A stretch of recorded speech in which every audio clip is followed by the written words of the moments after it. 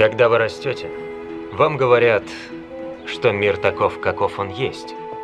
И вы должны жить в рамках этого мира и постараться поменьше биться лбом о стены.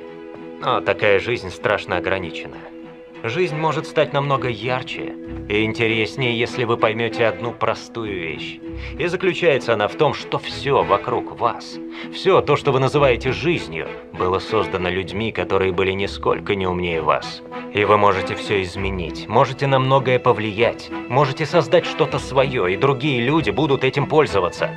Главное отделаться от представления о том, что жизнь неизменна и ее нужно просто прожить. Жизнь нужно осознать. Ее можно изменить, улучшить, оставить в ней свой след. И поняв это, вы уже никогда не будете прежними.